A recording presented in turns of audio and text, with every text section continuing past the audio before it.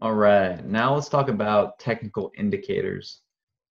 Now, these are probably the one of the most fancy things you'll see, but they honestly they work sometimes, but they don't work all the times. And personally, like I always mention, you should just be using price action and market structure, uh, potentially some of these indicators to give yourself an edge and to keep yourself out of uh, messy trades in the middle of the freeway. But um, for the sake of this course, I'm going to cover them and just tell you the ones that I use. And I use them sparingly, uh, meaning like I don't rely on them for my trade entries all the time. I mainly just use price action. But uh, technical indicators, more or less, are mathematical calculations based on price and volume, also known as like uh, measuring momentum of price. So the reason why technical indicators don't work that well is because they use hysterical historical data to predict where price may go next with a high probability. And again, we're thinking in terms of probability here as a trader. So there are two types of technical indicators. And the first one is the overlays. And this these indicators use the same scale as price and are plotted over the top of prices on the chart. And the other other type of technical indicators are the oscillators, which are indicators that oscillate between a local minimum and a maximum, otherwise known as zero and one or uh, could also be a negative to a positive number as well. And these are plotted below a price chart. So limitations on using technical indicators is very important to understand. So most are lagging since calculations depend on historical data. So you might get in, by the time you get in, that your indicator is telling you to get in, it's going to be too late. Or price action could have got you in way earlier. And by the time you're getting in with a technical indicator, if you're just using price action, you might be taking profit. So it's important to know that. And like I mentioned, they're not 100% guaranteed to work. So this will probably help you a bit. So how do we use indicators for day trading at PLT? So these are our rules for using indicators. So number one, price action and market structure always take precedence over any indicator. Number two, if an indicator is signaling a reversal or continuation, price action must also confirm. In other words, holding or breaking support and resistance. Number three, keep it simple by having no more than three indicators on your chart. Less is more in this case. Number four, trend lines, fibs, and pivot points are the best indicators to use to increase your probability of winning trades. And number five, see rules number one through four. So first, let's talk about the VWAP, which is the volume weighted average price. So the VWAP averages the closing prices during the given time period while putting emphasis on periods with higher volume. And this is a lagging indicator, but large institutions use the VWAP quite a bit to help them move into and into or out of a position. So this provides liquidity for the bigger funds to enter and exit their trades. Because this is where most of the volume is happening for the day. So how to use the VWAP. So when the closing price is greater than the VWAP, it's typically bullish. And when the closing price is below the VWAP, it's typically bearish. However, price action should always prove and confirm this. And a lot of times, uh, for me, I use the VWAP usually for profit targets, not entries since price tends to move back towards the VWAP, and you could think of the VWAP as like a mean reversion tool as well. And it's really important to understand this, and you'll see this pattern and you'll become more familiar with using the VWAP once you trade more and just get some screen time and you see how price reacts around around this indicator. But by itself is not is not a a tool to to take trades on, I would say.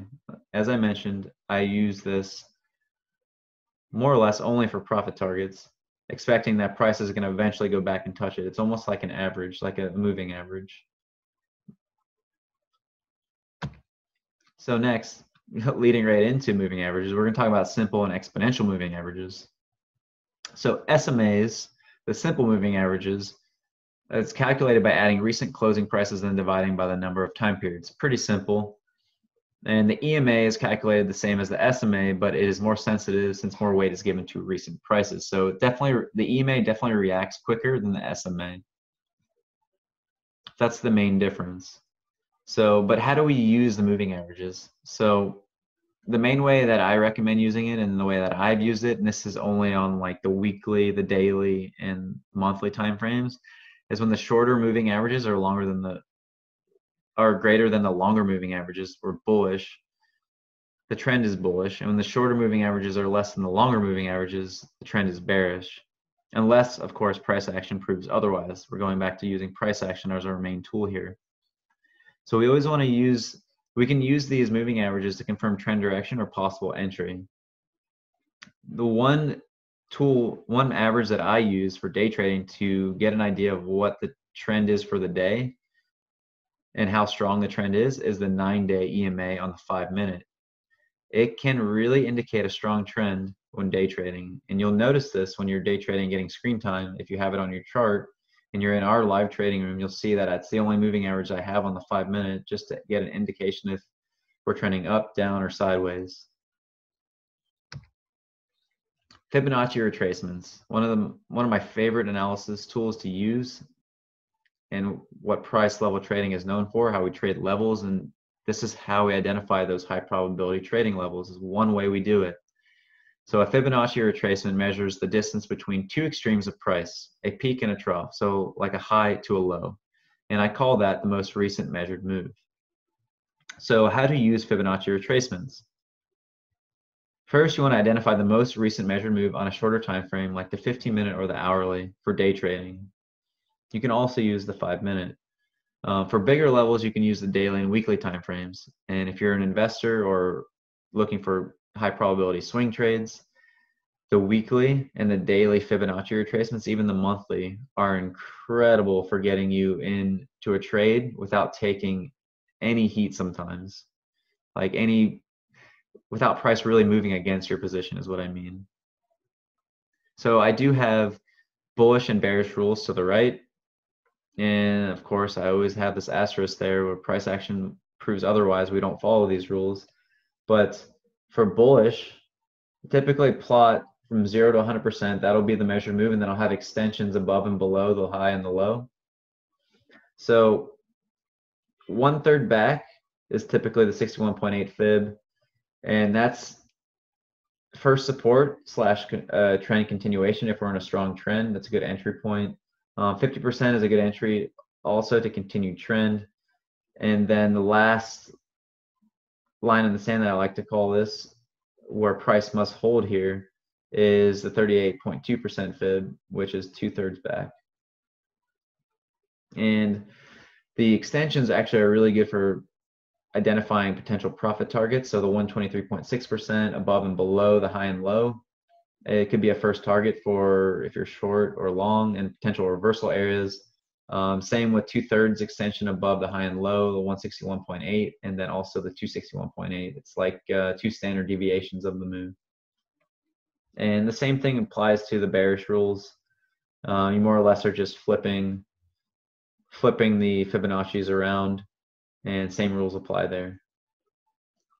So now let's talk about the average true range, also known as the ATR. Now, this is a really important tool that helps us measure market volatility within the time frame it's being calculated. So using the ATR, we can actually determine what our suggested stop loss should be. And if you have been trading this past week with the coronavirus where the market's been dumping, the ATR in like the five minute on NQ has been insanely high, like 20, 30, 40, 50 points. I even saw like a 100 point plus five minute candle on the NQ futures.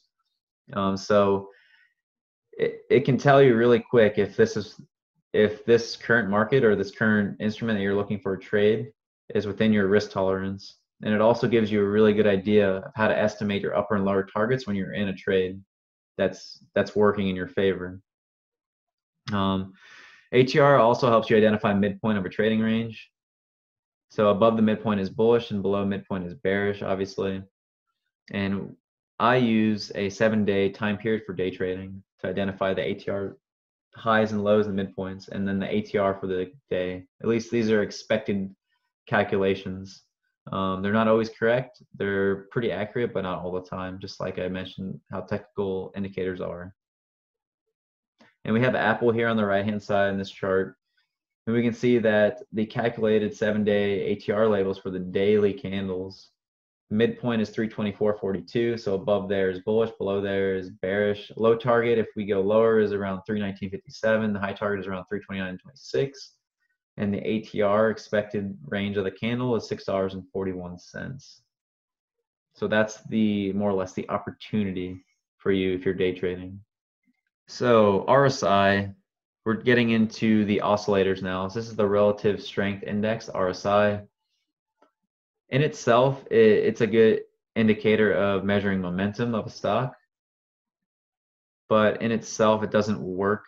I would say I don't actually use it to identify trades, but I'll show you how I use it with a, a moving average and another study that I developed over the years. So, what is RSI? It measures the magnitude of recent price changes to evaluate overbought or oversold conditions, otherwise known as momentum. So, this is just a momentum gauge. And people typically use RSI by signaling if it's above 70, we're overbought and a pullback's likely. And if our RSI is below 30, it's oversold and we're more likely going to have a pullback like uh, pullback in this case would be that we are going to bounce higher if RSI is less than 30. Um, and as I mentioned, should not be used by itself in day trading. Again, it is a lagging indicator and it will get you in super late to the party. And by the time you get in, the run is more likely over. So we cannot use this in itself for day trading. Um, so what I use actually is I combine the RSI with moving averages, and I think there's an exponential moving average and an SMA, simple moving averages, to generate this cloud more or less to identify momentum. And I combine that with a John Carter squeeze to tell me if we're chopping around or if this move is firing out of the squeeze. I'm going to cover that in the next slide. So I know that this move that's currently happening is strong in the direction that it's moving until it shows me, until price action shows me that it is not. Lastly, let's talk about the TTM squeeze, also known as the John Carter study. This is Kristen's, one of Kristen's and mine's favorite study to use for identifying momentum and how long this current move is going to last on an underlying stock or futures instrument. So the squeeze, more or less, is a volatility based indicator that tells you when the market is switching from a trending market to oscillating and vice versa. And oscillating in this case is choppy and range bound, where there's no real direction. And most of the time, you don't really want to trade that. You want to wait till price fires up, fires out of the squeeze, because the movement's going to be strong in the direction of where that price goes. So, how do you use the John John Carter squeeze? So, in Thinkorswim, this study is called TTM squeeze. And when we're in the squeeze, you'll see a bunch of red dots on the lower indicator there. I have it uh, in a red box there at the lower end of this uh, chart. So we have a bunch of red dots, we're in the squeeze. And when we're in the squeeze, you want to trade the range. There's no really de big defined direction of which way we're going to go. But when price fires out of the squeeze in a specific time frame, you'll see the red dots turn to green and that's when momentum is strong to the direction that the price is moving until price goes back in the squeeze where the green dots turn to red. So when you see price fire out of the squeeze you want to take the trade in the direction of the momentum for up to nine candles typically. Um, for example if you're trading the five minute chart that would be 45 minutes of momentum where you could capture and lock in profits Sometimes it's more or less, but that's a good estimate of how long uh, momentum could last out of the squeeze. And then when price, like I mentioned, fires out of the squeeze, then goes back in the squeeze, you should probably scratch the trade because more or less it was a fake out and price isn't really going to move the direction that the indicator was actually signaling it to go. Um, and then you just kind of wait for the next trade. So it's a really solid indicator to use. I would say on longer time frames, uh, definitely daily, weekly, monthly, even like hourly and four hour to get bigger direction directional moves. Uh, just add it to your toolbox. I highly recommend it. And Chris and I talk about this quite a bit in the live day trading room. So, final thoughts and tips on using technical analysis. So as I mentioned, technical analysis is an amazing tool for finding high probability trading setups by giving ourselves an edge. However, it doesn't always work as expected, and that's okay because we focus on defending our capital first, and we got to think in terms of probabilities and protecting our capital and taking the trades that have the highest probability and chance of working out in our favor um, and are giving us a decent return on the risk we're willing to take. And we know a winner is eventually coming if we keep trading the same high probability strategies that we know work. This is super important. Um, and you have to just believe in the strategies that you're testing and you're using with live money. And you can't let your psychology get in the way of you from making money. And Chris and I already talked about this in the psychology course, or at least the lesson of this course. And I'm going to mention it again because it's super important technical analysis is amazing and it's great and people like to focus on it because all the fancy things it can do and the colors it adds to your charts. But in the end a winnings trader's mindset is way more important than using technical analysis. If you focus if you understand how to do technical analysis which is super simple everyone knows how to do it. Some people do it a lot better than others but the most successful traders are people that have a, a really positive and solid winning mindset you know? And they don't let losing trades affect them. They they stick to the long-term plan. They stay disciplined diligent um, vigilant you know? They're they're just on on the ball you know? They're they're doing everything they know they need to do to to make money and they're not letting themselves be their own worst enemy. So focus on that but also learn technical analysis through these videos and ask us questions if you have any and Kristen and I will be more than happy to to chat with you further to clarify any concepts that you might not understand. And we're here to help you guys and see see you become successful at trading.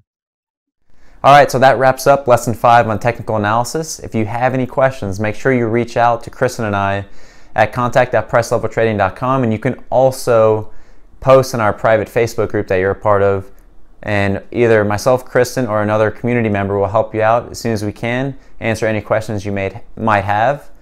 And the next lesson we're going to talk about is helping you create a detailed trading plan and entry and exit checklist. So let's dive into that.